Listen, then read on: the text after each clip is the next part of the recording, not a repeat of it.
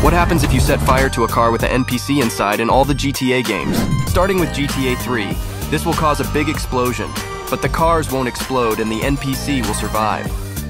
In GTA Vice City, there are no more gifts for civilians as they will be charred in just a few seconds. Be careful because if the police are nearby, they will want to arrest you. Let's move on to GTA San Andreas. By throwing a Molotov cocktail, it will cause a general panic and the drivers will quickly flee, trying to run you over in the process. NPCs will survive the fire damage. It's not surprising since we are almost invincible in the car. In GTA 4, to carry out this test, let's use a completely black Lamborghini. Once the car catches fire, the driver can calmly exit the vehicle without any damage. However, if we wait for the NPC to exit the vehicle this time, the fire will affect them.